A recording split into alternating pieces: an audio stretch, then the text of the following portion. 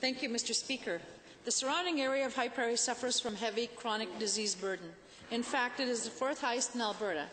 Because of this, dedicated and specialized medical care is required for the well-being of the residents. To the Minister of Health, the idea of a community health and wellness clinic is being contemplated to fulfill the emergency health needs of the High Prairie residents. Does this clinic have the support of your ministry?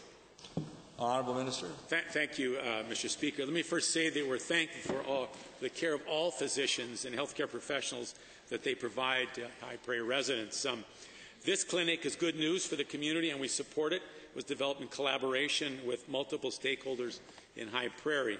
Because of the Community Health and Wellness Clinic, two physicians who had previously indicated High Prairie was not the top choice for their, for their uh, options, decide to come and begin to practice in High Prairie.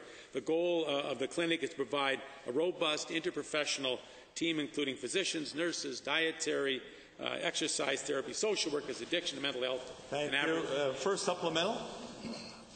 To the same minister, sorry you didn't get to finish. So given the fact that 12 doctors have left High Prairie in the last five years, would the minister be willing to work with physicians on a different compensation model other than the traditional fee-for-service so we can keep doctors in High Prairie and ensure our residents get quality of care? Minister. Thank you, uh, Mr. Speaker. Um, um, we want a, com a, compensation model that works uh, for both the communities and the physicians. Uh, that's an important balance. Uh, so we'd be happy to work with the physicians on whatever type of compensation model they'd be interested in. That's always not as easy as one would think. This could include development of alternative relationship plan using compensation models such as salary, blend of salary and fee for service, or um, capitation, capi, capi, capitulation. Oh, it's a fixed payment per capital, per capita, capitation, whatever that is. Excellent.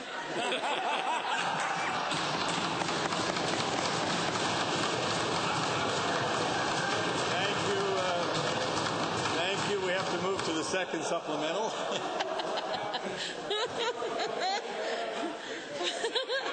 to the same minister, regardless of what clinic a physician in High Prairie works in, will their patients be able to access the services at the wellness clinic?